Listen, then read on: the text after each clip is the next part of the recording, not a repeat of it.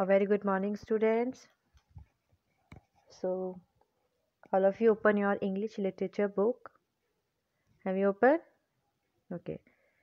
Open the page number 57, chapter number 9, page number 57, composition skill. So, today we start our exercise number E, that is, write five sentences about a windy day. We have to write the five sentences about the windy day. हमें windy day बारे में five sentence लिखने हैं। It's are wish की we we are two three और two और one it's our wish so let start start writing please it was a windy day in summer हम ये भी लिख सकते हैं कि विंडी डे होता है समर्स में, गर्मियों में काफ़ी हवा चलती है। So start writing it was a windy day in summer second is there were boats sailing in the lake there were boats sailing in the lake boats क्या है? सेल करती हैं लेक में? नाव तैरती है उसमें, पानी में? चलती है। Third is the wind blew my hat away the wind blew my hat away हम ये भी बना सकते हैं, जब विंड चलती है तो क्या होता है? ब्लू माई हैट अवे हमारी जो हैट होती है हैट किसे बोलते हैं? जो एक सर में लगाने वाला हैट होता है, उसे कैप टाइप में जो होता है, उसे हैट बोलते हैं। जब खूब तेज़ हवा चलती है तो कई बार क्या होता है? हैट उड़ जाती है। Okay so have you done okay so now we start our language skill first of all I am telling that what is pronoun pronoun होता क्या है? Pronoun are words use in place of noun pronoun किसे बोलते हैं? Are words that use in place of noun जो noun की जगह use होते हैं, उसे हम प्रोनाउन बोलते हैं। When we have to write about same person again we do not use his और her name again and again we use a pronoun कई बार क्या होता है when we have to write the right when we have to write about the same person again अगर हम किसी बंदे के बारे में बार बार कोई चीज़ लिख रहे हैं तो बार बार हम उसका नेम नहीं लिखते। उसका नेम नहीं लिखते हम बार बार वी यूज़ अ प्रोनाउन उसकी जगह के हम क्या यूज़ करते हैं? Pronoun For example, Raj is a boy. He lives in Lucknow. Mrs. Sharma went to market. She bought vegetables. Okay. Third is that is a flower. It is a pig.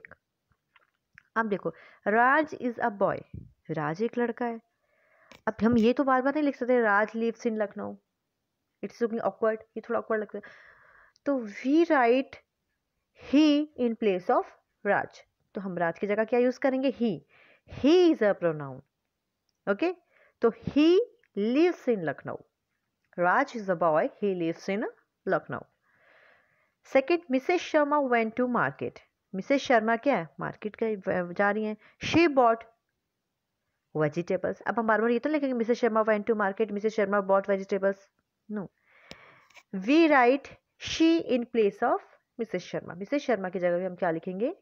She. Okay? Third is, that is a flower, it is pink. अब ये एक flower है, वो pink है। हम ये तो लिखेंगे that is a flower that is pink no that is a flower it is pink किसी जगह पे अब हम किसी, कोई थिंग है, कोई एनिमल है तो उसकी जब हम किसका यूज़ करेंगे? इट का। जैसे for example it he she this all are pronouns ये सारे हमारे क्या हैं? प्रोनाउंस हैं। We use he for masculine gender and she for the feminine gender. ही जो होता है, हम किसके लिए यूज़ करते हैं? मेल्स के लिए जेंट्स के लिए बॉयज़ के लिए हम किसका यूज़ करते हैं? ही का. And she for the feminine gender और शी किसका यूज़ करते हैं?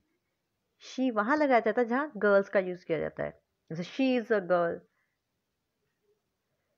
okay so turn the page page number 58 we use it for things or animals. हम किसका यूज़ करते हैं? इट का। किसके लिए? कोई भी चीज़ है, कोई बुक कोई टेबल कोई अलमीरा, या कोई एनिमल्स का यूज़ कर रहे हैं तो वहाँ हम किसका यूज़ हो रहा है? बार बार हम एनिमल का नेम तो लिखेंगे नहीं। तो उसकी जगह हम किसका यूज़ करेंगे? इट का। They is many for it he और शी कहीं जहाँ भी हमने इट लगाया या ही लगाया या शी लगाया तो उस पर हम अगर बहुत सारे लोग हैं तो उसके लिए हम क्या यूज़ करेंगे? They T H E Y थे वहाँ पे किसका यूज़ होगा? देखा I use for the person who is speaking I का यूज़ कहाँ होता है? जो बंदा बोल रहा है, जो स्पीक कर रहा है, उसके लिए आई का यूज़ हो रहा है। फॉर एग्ज़ाम्पल कि अगर मैं बोल रही हूँ तो मैं अपने लिए आई का यूज़ करूँगी। We is for we is many for I अगर मेरे साथ बहुत सारे से आ, हम सब लोग हैं तो हम किसका यूज़ करेंगे? वी ऑल आर वी का यूज़ हो रहा है उसमें। बहुत सारे लोगों के लिए किसका यूज़ होगा? वी का। You is use for the person to whom we speak जिसके साथ हम बात कर रहे हैं। जैसे मैं अब आप लोगों के साथ बात कर रही तो मैं यू का यूज़ करूँगी आपके लिए। Okay you is many for you अगर यू का बात करें तो अगर बहुत सारे लोग होंगे, उसमें भी हम यू का ही यूज़ करेंगे। अंडरस्टैंड सबको समझ में आया कि प्रोनाउन होता क्या है? Pronoun are the word use in a place of noun जो नाउन की प्लेस पे यूज़ किए जाते हैं, उसे हम प्रोनाउन बोलते हैं। Understand so let's start our exercise number A pick out the pronouns in the poem and write them below अब जो हमने अपनी प्रीवियस क्लास में पोएम रीड की थी, उसमें से आपको प्रोनाउन का यूज़ कर प्रोनाउन आपको पिक आउट करने हैं, निकालने हैं। तो write first first word that is who W H O who is pronoun second is I I is also pronoun and third is you you is also a pronoun. Understand? So, now start exercise number b. Fill in the blanks with pronouns. अब हमें pronoun के साथ इसको fill करना है। Look at the first one sam has a dog dash is white or it or she sam has a dog dog है तो मैंने आपको क्या बताया था कि एनिमल्स के लिए क्या यूज़ होता है शी तो यूज़ नहीं होगा इट तो it is a white write I T it understand and second one Gauri went to school dash went by bus she or they Gauri school जाती है। किससे जाती है? वेंट बाय बस तो उसमें किसका यूज़ होगा? दी तो यूज़ नहीं होगा। She she went by bus third is that is my father that loves me that is my father that loves me वो मेरे फादर हैं। अब वी आएगा या ही आएगा? ही लव्स मी वो मुझे लव करते हैं। Fourth is dash am six year old he और आई अपने लिए अगर हम बात करें तो क्या आएगा? I am six year old understand and fifth one is dash are my friends we are my friends और they are my friends they बहुत सारे लोग हैं ना? तो they all are my friends तो they are my friends six is the king lives in the king lives in a place dash wears a crown अब king है. King lives in a palace. Dash wears a crown अब उसने crown पहना है। King is a male और female king तो राजा है। राजा क्या है? मेल है। तो क्या आएगा? He he wears a crown understand seventh is the frog is green dash can jump frog is also an animal.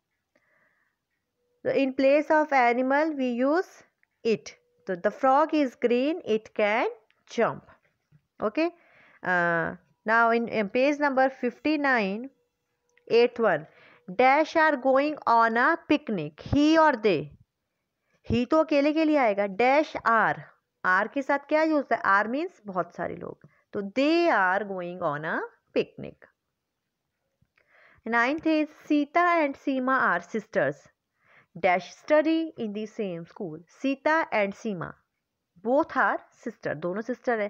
अब ये दो हैं, दो के लिए हम किसका यूज़ करेंगे? शी का या दे का? She is use for single she single के लिए यूज़ होगा।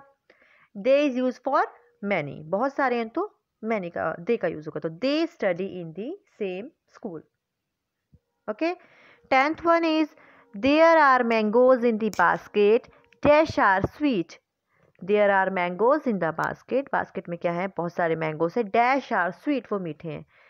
इट के लिए इट तो सिंगल के लिए यूज़ होगा. देर आर मैंगोज एक मैंगो नहीं है मैंगोज तो दे आएगा. They are sweet okay understand have you done okay. So, your homework is you have to learn the question answer of chapter number 9 the wind. Okay? You have to learn the question answer of chapter number 9 from your copy. Okay? Thank you